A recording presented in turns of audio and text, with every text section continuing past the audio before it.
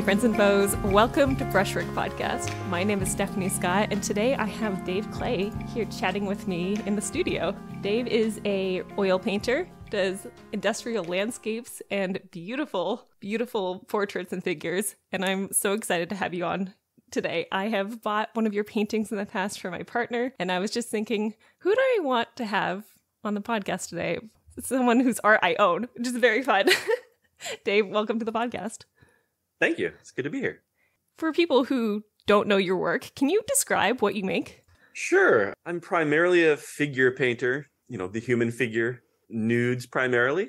I also do industrial landscapes, so paintings of uh, the insides of steel mills and foundries where they're uh, melting down scrap metal and turning into, you know, steel products and things like that, machinery. It's very punk. Uh, yeah, I, I love doing them. They're very atmospheric and moody, and I tend to use a lot of brushwork and noise and textures in my paintings. I try to stay away from, you know, refining paintings too far so that they're photorealist. I tend to stay kind of painterly and, and you know, to a certain extent abstract. I, I love using abstraction in figurative work, and I think it's very evocative. I myself am an abstract oil painter, and mm-hmm. I love, I, I don't know, there's something about there's this category called disruptive realism and i feel like you almost are on the edges of that and your work is very like the the figure emerges from the abstracted background and it's it's very tasteful and it's very interesting. Can you tell me about your the origins of your artistic career? I've been just drawing and making art for as long as i can remember. Uh, my parents said that i was drawing when i was a wee kid and uh, I've always remembered drawing as something that I've done. Um, in grade school, I remember drawing boats and sports cars and things, tanks and that's fine. You know, of, yeah, I just I loved drawing machinery and mechanics. I thought I wanted to be a mechanical engineer for a long time back when I was in high school. Um, but I then got into comic books, and that really sort of started that figure drawing life of mine that I, you know, carried on. Uh, so I wanted to be a comic book artist for a while, and then I went to college and was taking drawing and painting there. Mm-hmm. And I, it turned out I realized it was a good sort of self realization that I didn't really want to tell a story uh, in frames and panels and direct a sort of movie in my right. art. I actually just focus on the figure. I like drawing the I like drawing the comic book covers more than the actual comic books themselves.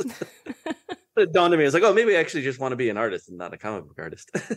They're very, very different. Making comics is a whole different field of expertise and was there like a catalyst moment where you were like, mm, better stop doing this, better pick up my paintbrush instead? I don't I don't recall any specific moment that was a realization. I think it was I had tried to do a few comic books just on my own, mm-hmm. uh, and would just spend inordinate amounts of time drawing the individual pictures, and then struggling to. I think the thing, at least the concept that was surprising to me that I had learned was you're a director as a comic book artist. You have to tell, yeah.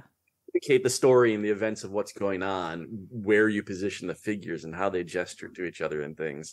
And that was really hard. It was like, oh, that that's a whole other skill set that I haven't thought about and haven't practiced. Um, and I really like just interesting poses of the figures and you know working on the expression and that, that, that over time i realized that that's all i was doing. Mm-hmm. i wasn't actually drawing comic books i was just drawing. Uh, and i think it, somewhere on the round that i just kind of gave up on the idea I was like well i'm having fun doing this. I'm just going to keep doing this and not pursue the comic book path. I love it. So you went from comics right into figurative painting? No actually there was a lot many years between the painting and the drawing. Um, in college, I was doing a lot of just, you know, pencil, pen and ink, mm-hmm. comic book styles and learning new, you know, charcoal, you know, the traditional mediums as art school does. As you do. Uh, yeah, exactly. And then for a while, I was doing this digital collage because this was back in 1996, 97. Mm-hmm. Uh, I was really interested in computer art and using digital mediums. And so I would take a bunch of found imagery and layered upon found photos of people and uh, these are massive big files. They really kind of i'm sure they were. 200 300 layer files of photoshop files.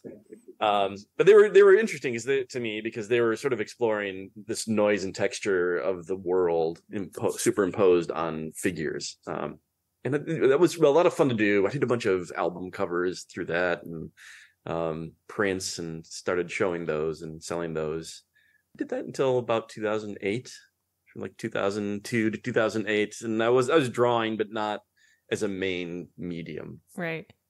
itself. And then it, I sort of stopped doing that because I really wanted to get back into drawing more. And like I was in a band for years, and I was kind of focused on doing that band stuff that whole time. And so I stopped the band thing and started doing art. And that's when I started doing acrylic a bit, ink kind of wash, kind of some interesting mechanical construction with line work. I did that till about 2015, and then I started oil painting, and I decided that was where I wanted to go and practice form and you know to a certain extent that more more ability to create textures with paint rather than with you know using a pen it's a very fine line and so you're drawing your own wires and you know textures and things Yeah. Take a piece of paint and scrape it with a razor and suddenly you've got all these textures come out of it It's pretty fun. I like hearing about the natural evolution of a person's creativity. I started uh, doing equestrian art, and now I do only triangles. I'm like, show me a shape, and I love it. It's great. And the journey it takes a long time. And hearing about a, a comic artist turning into a figurative oil painter, it's it's uh, a huge distinction. I've seen a couple of your figurative paintings lately, and I've seen some more mixed media elements put in at your latest gra- uh, show at Figure Ground Gallery. I was like, oh, this is interesting. This is different than what I've seen from you before. Can you tell me about the mixed media work? Yeah, absolutely. That actually came from that middle period after 2008 when I started doing some more acrylic ink wash stuff. Mhm. Uh, I was still into, you know, I guess I'm still into um, sort of that anime cyberpunk dystopian future. It's super fun. Yeah, it's it's a lovely aesthetic. I just I just have so much fun with it. I always have Blade Runner kind of stuff. Mhm. And so when I was drawing those, they were you know sort of cyborgy kind of.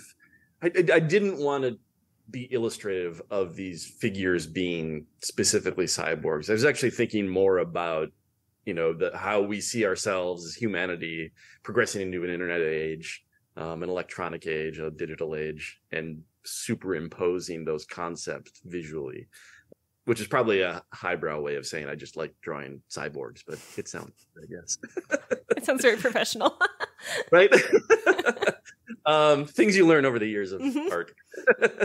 but at the time, I was thinking, oh, it'd be cool if I actually put wires and components and electrical things, circuit board patterns and microchips and things on these drawings. And so I started doing that, and I got a lot. A lot of people really thought that was a cool thing. Um, the, the director for the Erotic Art Fest, Garlio Arado, just adores them. Owns a couple pieces, uh, and it was fun to do. And I kind of felt like I hit a peak with that sort of style of multimedia in pen and ink. I was like, oh, I really like these, but I'm I feel like I'm not going anywhere, and I'm not sure where to go next. yeah. And that's when I took up the oil painting to say, well, what if I did more textural form instead of Mhm. line work? And recently, I've it's always been in the plan, and recently been able, sort of like, okay, I think I know how to do it um, to add back in the kind of components to the paintings instead of just adding components to the line work. And that's a challenge because one of the things I learned doing the component multimedia thing with the line drawings is that if you put the components on the figure as if they were part of the figure, Mhm. it was failing. It was, it looked kind of kitsch. Um, It components were so drastically physically different from the drawing that they would compete with each other visually, and the, they wouldn't work. And the, but if I moved the components to just in an abstract space or in an abstract pattern around the figure, near the figure, and had the figure interact with that abstract placement of the components, that worked much better. Suddenly the components aren't competing with the anatomy of the figure Right. or the figure. Now it's in conversation. Exactly, exactly. And so that now that I've, you know, gone to painting and starting to do this, that's that same sort of how do the components interact with the space of the painting and the figure? Um, they're a different feel and texture. It's sculptural versus flat. It's sort of sorting out that problem has been a challenge, but it's finally now starting to make sense to me in the realm of painting. Uh, so I'm excited to get back into it. I've got a whole three or four paintings ready to get the power tools out and go into them. I cannot wait to see these. They're gonna be really cool. Oh gosh, yeah, it is. It is very easy to be kitschy, like you said, with mixed media and with a form. It's so a form is so narrative in itself, just in a gesture, and I find a lot of times when you see work that has a mixed media element eh, or or a gold or a glitter or something like that, it's you you have to be so masterful and so careful and so like considerate about what's happening that it takes a lot of practice. And i'm sure you have lots of fails in your studio lying around being like that, that didn't work because i know i have in my past. And it's it's kind of fun to experiment though. It is it's it's definitely one of the one of the things that really i adore about this work and being in the studio is that exploration especially when you, you just like free uh, you know, expectations and failure. If you right. can just get yourself in that creative flow and start hacking things together it's just so satisfying. Who were your favorite teachers that you had when you were learning your all these new um, kinds of trades in the art field? I had my college professor was Pamela Schermer back at uw milwaukee.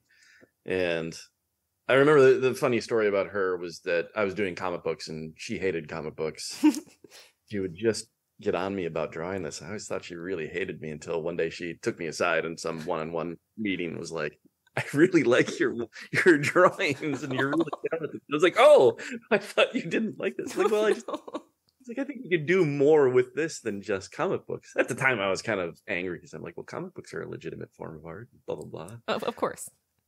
I was just a bad student at 18s. um, but you know, she taught me the basics of you know drawing, and that was you know looking back at it, I was like, I see why, and it makes sense.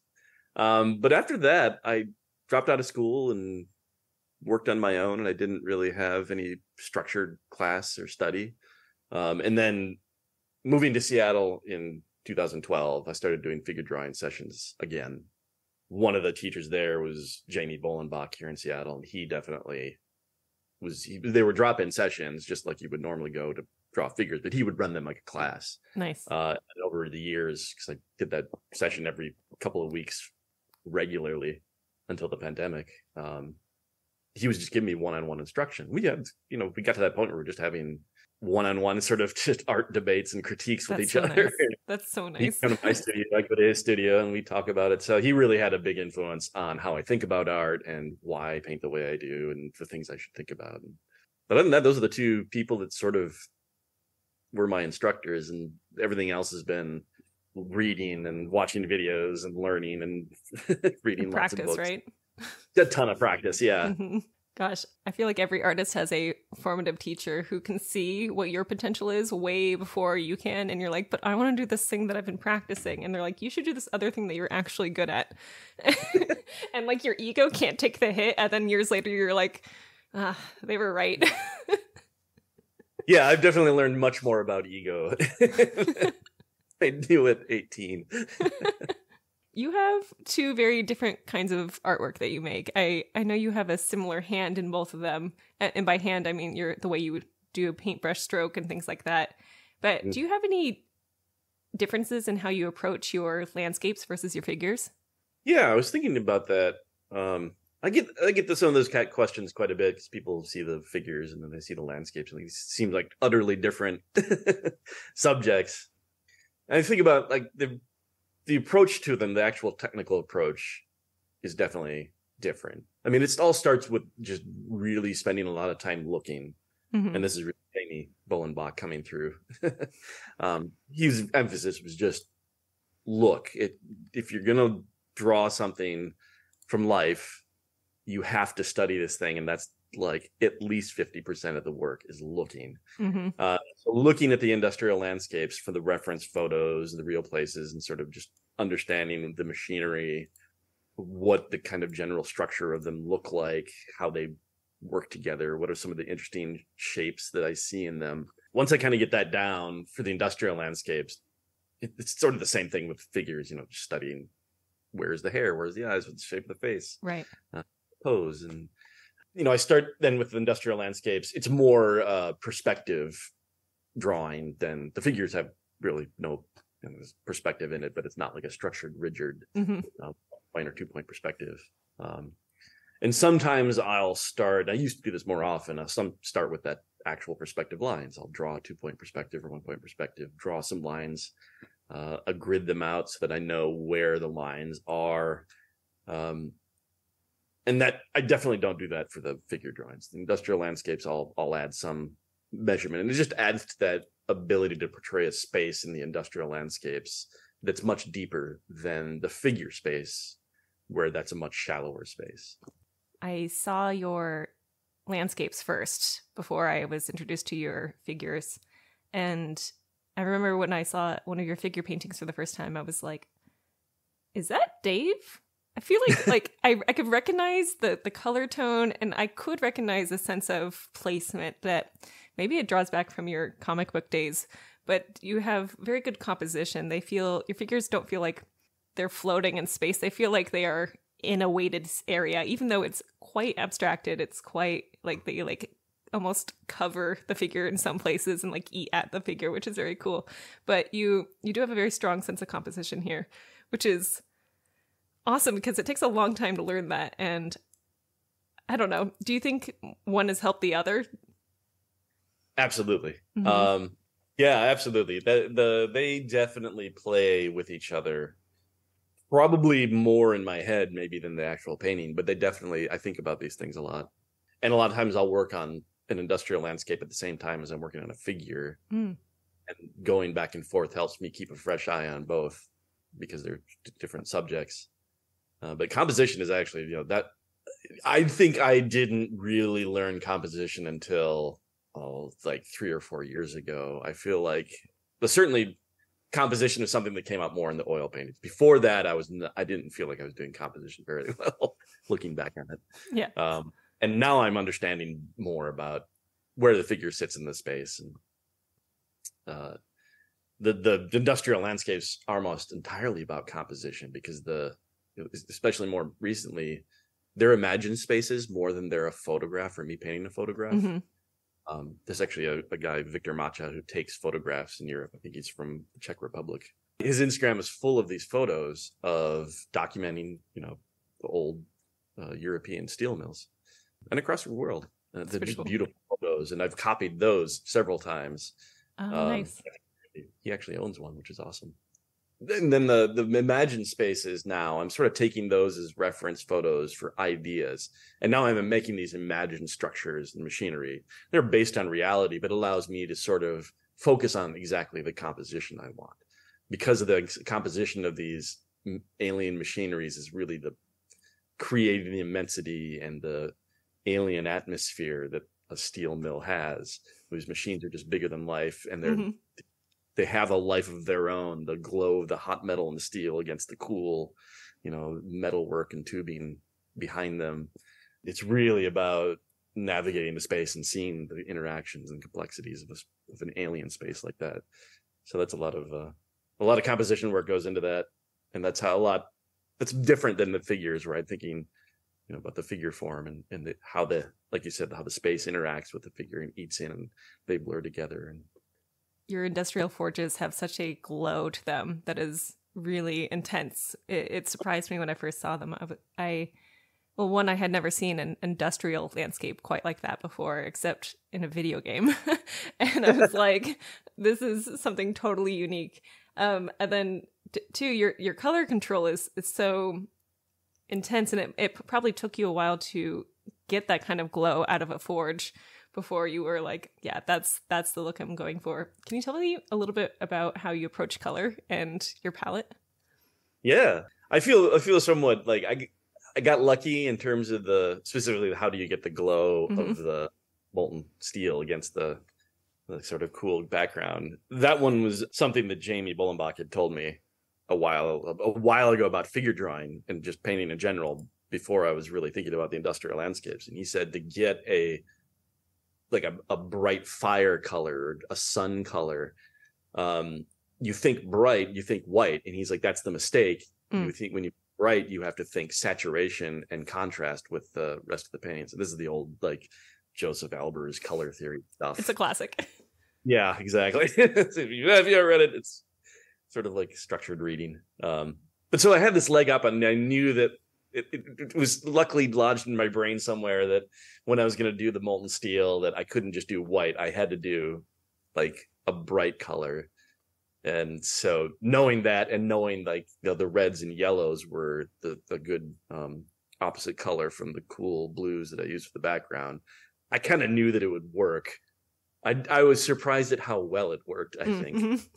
Pretty sure it was going to work well. And then, yeah, like, you know, the, the, mach- the machinery in the industrial landscapes is that, you know, Prussian blue or ultramarine blue, um, mixed with burnt sienna to dull it down. So you get this really subtle shade of blues, grays. It's, it's more neutral, cool colors. And I try to not make them too saturated. Uh, they have to be sort of a desaturated, cool color. And that way, when I drop the molten steel, which is naphthol red and cadmium yellow and burnt sienna, that cad yellow I don't mix. It just you put it in there solid that color, and suddenly that against the muted blue burnt sienna grays just pops, um, and it works really well. The trick there is that you have to do the whole, at least I do, the whole industrial landscape structure and space in those blues first because as soon as you drop that cad yellow in there for the flames that's all you see and it just becomes the immediate focal point of the pa- painting. Yeah. it's really hard to go back in and change anything about the grays. The general color theory for me is along, along those lines even in the figures uh, is cool tones subtle tones not being overly saturated. Um, i feel like that's just it's sort of too heavy handed for what i want to portray to have lots of saturated colors. I mean, it's beautiful and I love saturated colors. You know, I could look at Van Gogh all day long, uh, but it's not what I want to portray and not what I want to say. The my figures are emotional communication devices and they're about interpreting feelings that aren't clear or direct. And so I want ambiguity and that that translates to the color palette as well is that they're they're muted. They're not trying to be overly dark or light or saturated or happy or mean or angry. They're supposed to be in between spaces. And so the color palette I keep that way. I feel like you have a very distinct palette and that it's easy to recognize your work. It it feels branded in a way that is very like cohesive. It's very thoughtful. And I feel like I can recognize one of your paintings a mile away just from the the like kinds of grays you use and the cool tones you That's good. use. And it's it's very nice. It's it's very thoughtful. I had a teacher once who was like, Stephanie, y- your relationships to your colors matter so much that if you put even a speck of that cadmium yellow against that gray tones that you've got, it'll change the entire painting, just like a speck of it. And you have to be so careful about how you're using such intense contrast like that. And it's very powerful, but it's also easy to make mistakes with. And I feel It like is. When you go back to your early landscapes, you can see how you are just refining that and refining that and refining that over the years. And they're, Yes. they're so good. Yeah, it definitely doing it over and over again, you start to learn the little bits of oh, that works when I use about this much or that much and make Mhm. it about that size. Yeah. You know, it's using a lot of colors is just hard. I can't remember half the colors I'm using in these things. So it's like the fewer the colors, then I don't have to remember what what the color was. Way easier, way easier. I have a whole bag of colors uh just like stored away because I'm like, I, I can't look at all of these. Exactly. You're overwhelmed options. with choice. And they're Mhm. like, what, what blue was that? I have 17 blues. I don't remember. You have I, I see I think you're in your studio right now, is that correct? Yes. I can see your paintings in the background. Can you tell me about your your studio space that you've got? Oh yeah, yeah. Um, I have a studio space in a art complex called Equinox Studios in Seattle, south of Seattle, um, downtown. It, at this point, it's an entire block of old factory industrial buildings that have been converted into um, art studios and shop spaces and um, you know metalworking studios, woodworking shops, metal shops, fabricators, ironwork guy across the street, the Iron Monkeys um, Tabasco runs it. He's awesome, and they do you know big sculpture work, big railing type designs. Um, and then there's Cycle Fabs next door, and they're just an actual CNC shop. Oh, uh, nice. That they do work. Um, but there's a lot of Gage. The school here is here. They have their atelier here, and a bunch of art studios here, painters. Um, bookbinder over there, which is great. Um, and my space is like my dream studio. I'm so happy I got this. Yeah. Can you describe it? Yeah, it's um tall, big tall ceilings because it's a factory building and I have the whole ground to the ceiling in my space. So it goes up, you know, 30 feet. There's a little loft above me that I can put old paintings on or paintings that are waiting to be painted over up there. I've got my artwork hanging on the walls. Um, mainly because every month the place opens up for the monthly art walk in the neighborhood art walk. That's nice. And people can come in and see the paintings and talk to me. And um, so I set it up sort of gallery esque to be able to show my work um, and hopefully sell it. mm-hmm. um, but as a working studio, it's fantastic because it's you know concrete floors and I can make a mess. I'm not the loudest person in the building by far, um, so I can play music and just you know to, I can step back because it's got a wide space and look at the painting from you'll get some perspective. My old studio before this was a little bit small, so it was hard to get. You know, I work on paintings that are about three foot by four foot or five foot by four foot, five foot by three foot, that kind of size.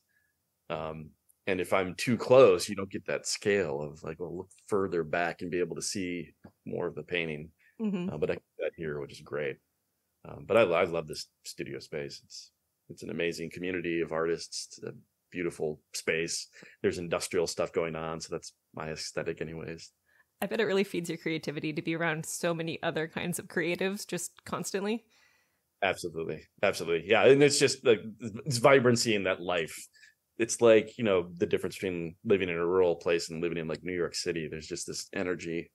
Do you think you would happening. paint less if you were not in a space like this? That's a good question. Um, probably wouldn't make a difference because I've just art has been my life for as long as I can remember, and sure. it's just something always do. So I doubt that I would paint less. I remember having the debate. I remember talking. I talked to a lot of people who have this debate about do you want your studio in your house where it's easy to access but you have these distractions like television and food and people mm-hmm. or do you have an external studio where you're more focused but you have to go there and it's further away and will you spend less time there um and i don't i i was just kind of forced into the like oh i have to get a studio anyways because i'm out of space in my house uh so i didn't think about it anymore at the time it was debating up to that point but now that I'm here, I love it here. This place is so amazing. Oh, that's great. That I just enjoy being here. So if I had it at home, I'd probably paint as much, but I love it being here. And so I make the time to come here and work. What is your typical schedule like? Um, like how many days a week are you going into the studio? And then in a specific day, what's your schedule like? Um, well, I'm a father, so I have uh my kiddo mm-hmm. Um, time and he's lovely and I love spending time with him. Um, and we do come to the studio occasionally, but it's not super exciting for him to watch me paint for hours. So, um, on days that I have him, I'll come down here sometimes during the day and work for two or three hours, um, and then you know go home and and hang out with him. Uh, and I'll you know I'm sketching at home or you know little little sketch paintings and things like that at home. Um, on days that I don't have him, I'm here usually about early afternoon and go until whenever at night. it could be it could be 6 p.m. It could be 4 p.m. Typically it's like 8 or 9 p.m. But I'll I'll stay here for, you know, if I'm really into it, I'll be here till midnight, 1 a.m. working on some on stuff if I'm in the groove. Can you can you walk me like like almost hour by hour of what happens on like an ideal studio day. You come in, it's early afternoon. What what happens? Yeah, uh, so I'll get here. I'm usually really excited to come, so I'm I'm excited to work on something. Um, rarely am I like, oh, I got to solve some broken problem or tackle some painting that I'm struggling with. Those are difficult. So I'll get in. I'm usually working on something. So if there's a painting that I'm particularly that I'm working on, I'll jump right into it. So mm-hmm. open up the open up the stuff, you know, get the brushes out. The painting's usually on the st- on the easel already, and I'll go into it. You know, the, uh, you know, I, I do spend like 15 minutes just looking, trying to remember where I was. What does this really need? Actually, it's a good, probably a good thing that I recognize about myself to mention is when I'm working on a piece and I go home and I think about it the the image in my head of the piece is never as good as the actual piece. Really? And so at night I'll be thinking about, oh, I gotta fix that. Oh, I don't think that nose is working. Oh, that, that you know, that's just not working. It'll be based off of what I remember the piece as, and I won't, you know, I'll look at a photo on the phone or something to try and remember, but even that is isn't quite right. And I'll get back into the studio and I'll I'll see the painting and be like, oh, that's not as bad as I remember. um, usually. Very Well, it's critical. gonna take like 15 minutes. Yeah, it's 15 minutes to be like reacquaint myself with the, what the painting actually looks like, and not the what I have in my head of what I think the painting looks like. Uh, and then I'll you know I'll work on it, and I usually have multiple pieces going at once uh, because I'll get to a point where a painting needs something or is at a point where I'm not sure what to do next. And if I keep painting, I love painting, and I will just keep painting because it's fun, not Mhm. because the painting needs any more paint on it. Uh, and that's when I usually ruin a piece. Oh, so no. got to the point where it's like once I don't know what I'm doing, and I can just look at it and be like, I'm not sure. I think it's I don't think it's done, but I don't know what to do. It comes off the easel, and I'll put it, you know, aside. And usually, so I don't look at it, I'll just give it some time to, you know, reset. I call that the fussing point. Yeah, exactly. That's a great. way to put it. I don't know what it means. Uh, so yeah, then I'll work on another piece that I'm like, okay, I've got a new one that or a, another half started one. I can go back into that piece, see if something comes up there. And barring that, if I'm just stuck on like two or three pieces, then it's time to start a new one. Hmm. Uh, I'll grab a new panel. And if I'm really stuck, it's time to go paint over an old one or build a new panel. Um, so it's just kind of the boring stuff of like, oh, I'm not sure what to do next. I guess I'll get the gesso out and cover up sander and build a new panel. Do you work on three or four paintings at the same time then? Yeah, yeah, they're Hmm. almost always like in a state of rotation. Although I think the no, I don't think paintings are ever done. The only paintings that are done for me are the ones that have sold and are no longer in my possession, or I've painted over them. it's the only two states have done that I know. Anything else, if you're in the studio, it's kind of dangerous to be a painting in my studio because you never know when I'm going to be like, well, it's time to get the sander out and go into that one. It's so true. It's so true. I have this like rack behind me that is just filled with paintings that I'm not allowed to touch anymore because they need to be done because I have to move on. it's it's great. It's like out of sight. All right, those don't exist Exactly. anymore. the upstairs loft in the art space. Like that's where the paintings go when I don't want to paint over them, but I don't want to look at them. Mm-hmm, mm-hmm. There's only so much time. I'm like, well, if I'm out of panels and I know that they're up there, I'll probably go paint over them before I go add to my growing collection of paintings by building new panels. I hear that. I hear that. Do you have any um I guess rituals that you do at the end of your creative day? Like how do you close down your studio? you know, I don't. Hmm. Um, make sure I close my my medium jars because they evaporate. the one I try and remember to do the most is like, don't forget the There goes my the money fading into the air. seed oil. It's not super expensive, but I'd rather not buy it all the time. Mhm. Um, so there's not really particularly like, oh, I've got to, you know, clean up or anything like that. I'm I'm pretty bad about making sure my palette's clean at the end of the day. I do that like weekly. I'll go in and take the the metal scraper and scrape off the palette and start from scratch, and then there's no there's no real ben. It's not like one of those things like I would recommend that. It's a bad habit. but there are times, as a painting I just did last night, where I was like, I think this is probably at the point where I need to stop working on it. Mm. And then I took it and like hit it so that it was like, okay, I'm I'm gonna come in, start fresh, and not look at it. yeah. So, two things I practice the most. But I generally feel like I'm gonna be in the studio tomorrow, so I'm not spending a whole lot of time cleaning up because I'm just gonna get right back into it Do you try to come every day if you can?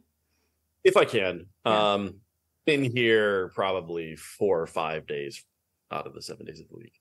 I had a teacher once. I was like, "Hey, how do I clean my brushes?" And he just told me, he's like, "You know, if you just come to the studio and you paint every day, you never have to clean your brushes." And I'm like, "That's that's so intense."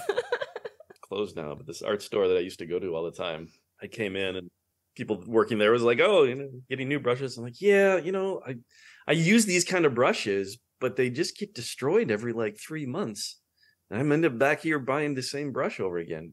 He's like, "Oh, well, you know, you paint a lot, right? Like, you're, I was like, yeah, pretty much in here every day. He's like, yeah, that's about how long brushes last when you use them every day. I'm like, oh it's the truth. I have a uh, a pot of it's like an old gardening pot and it's just like the brush graveyard because I can't get myself to throw them away. So I just like stick them in and it's like this like mangled vase of brushes. It's great. I have the exact same same vase. Mm-hmm. just full of that I could just throw out. They're not the landfill is my studio. Yep um here we are. Gosh okay changing changing tracks just a little bit sometimes I ask this of artists because I think it's interesting. First off, do you feel successful in your art? Mm. Yeah, that's a great question. I sometimes do. Mm-hmm. answer. Um, but it's something that I struggled with for a long time, and probably struggled with more when I started painting, and probably struggled with more the better I got. Mm. Uh, what were some of your doubts that ate at that?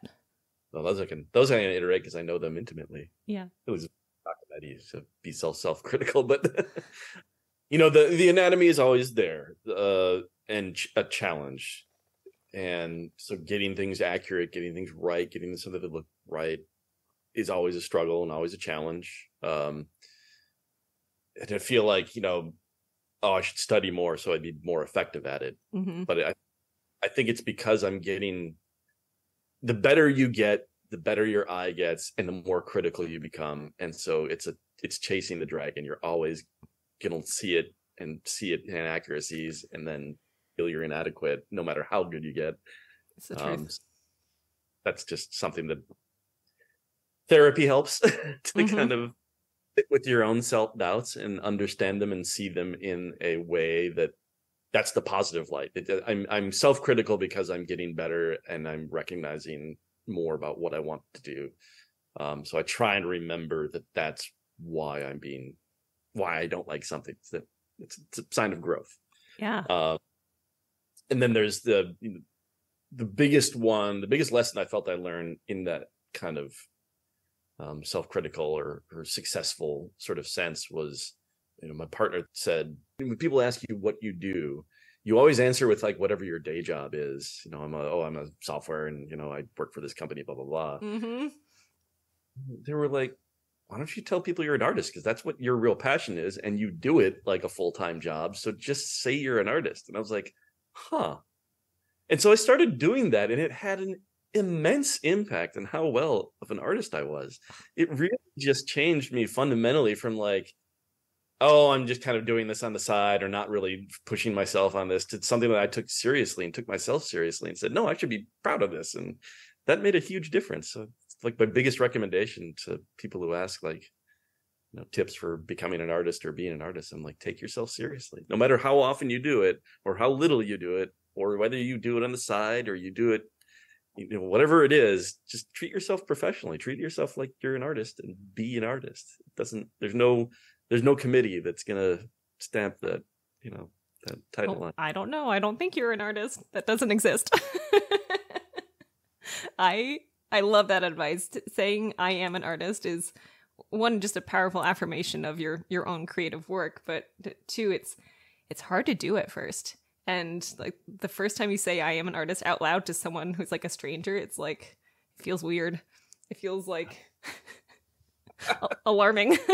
um, but the more you do it, the it definitely changes how you think about your work in such a wonderful way. It's that's great advice.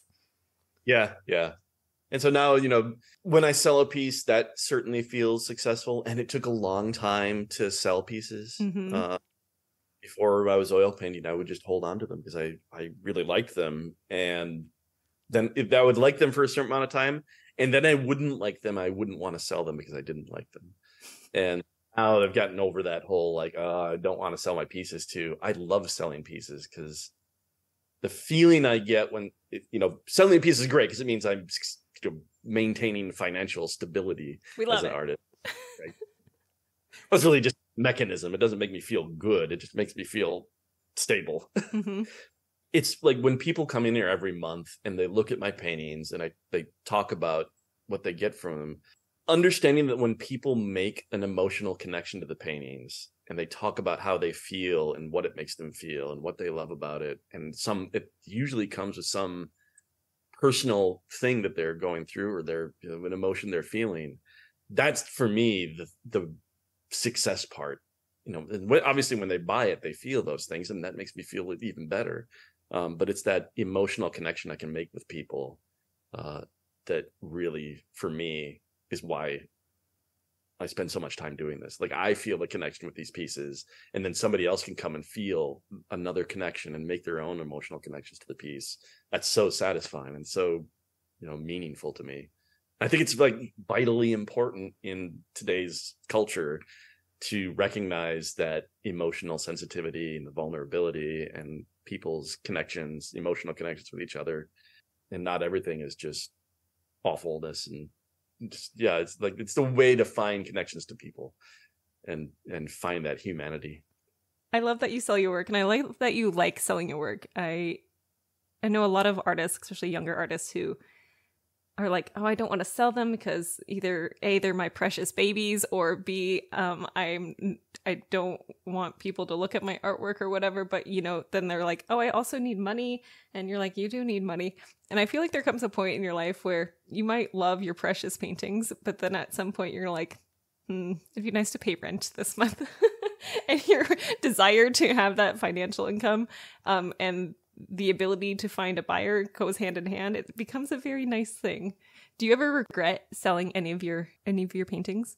Uh not anymore. Nice. you know one of the things that i also realized and kind of goes back into the self-criticism doubt thing is that the the paintings almost inevitably have a shelf life of how long they can sit in my studio and i can see them before i don't like them. I'll find some flaw. Inevitably like it goes along with that. You know, I'm I'm getting better, and my eye gets more critical. The better I get, the older paintings, I start to see what's wrong with them. That wasn't as obvious as was back when I was painting them. And so there's like a six month period where I'll love a painting, and then it's I'm not going to love it. Mm-hmm. And it, just realized it was a pain to. It was a pain and frustrating and sort of taxing just to have that emotional baggage of paintings that I no longer liked that I wanted to get rid of I didn't want to sell them because I thought they were crap. and then there's just this cycle of like make a painting, not want to sell it because I liked it. Then I wouldn't like it, and I wouldn't want to sell it because I didn't like it. But then it would just annoy me. uh, out of that cycle, I was like, why don't I just sell the piece when I'm happy with it? So then I'm just gonna stay happy with it. I don't have to look at it anymore. Amazing. I think Block said this too at some point was the idea of every piece you do is getting better. And you have to lose that sense of preciousness when you're working on a painting. Mm-hmm. a lot of that like if you you paint a figure and the hand is exquisite it's perfect and hands are hard so you're like i love that hand but the face doesn't work. And you will spend eons like years trying to make the face work when the problem is the hand is just in the wrong spot. And it's the most perfect hand but it can't be where it is and the only way out of that is to erase the perfect hand and yep. start in the right place. And so that's the lesson of you, you can't hold on to this preciousness and make a successful painting at the same time. Uh, sort of translated to me is like, I may find this painting precious, but I can paint it again. Mm-hmm. Like because once I should be able to paint it again. I know all the techniques. I know all the things that I did to make it. I know what I liked about it. I've studied it. It's almost like I could do it again, probably better because now that I've done it once, I know some of the mistakes that I made. Uh, and so that helps selling pieces as well. It's like sell them when you're happy with them, leave them wanting more. I love that painting, and now I don't have to hate it in the future. it's wonderful. You have to break what seems perfect. You have to, if something's wrong with the painting, you gotta you gotta take what seems perfect and mess it up. so especially know that it's perfect and it's in the wrong spot. Once you know, you have to just say, uh, "I gotta do it." Fine. Painting is such a wild adventure in your ego, and I love it. And it's it's so good for us. What is one piece of advice you would suggest for an artist who is trying to become a professional and eventually sell their artwork?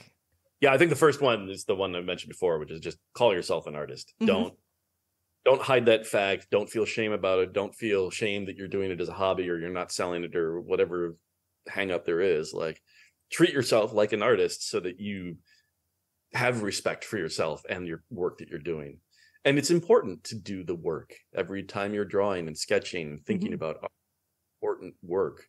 Um, that that's what being a professional is. It's not you're not working to become a professional where all you do is produce masterpieces day in day out. It's just a constant stream of work sketching and studying and reading and looking at books and doing the tutorials. The sketchbook's full of stupid hand exercises. Still i will always have sketchbooks of stupid hand exercises. And they're perfect.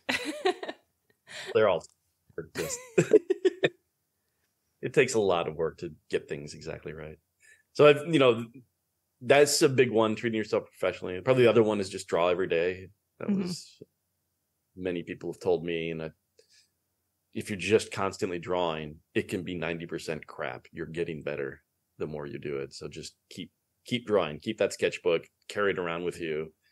It's just any opportunity. And don't you know don't feel bad. People love I, i'll go to the bar down here and hang out with friends and like I bring my sketchbook. They've just come to know me as the bartenders know me as the guy who has a sketchbook. I actually make other people draw just to kind of get people, you know, in the habit of it.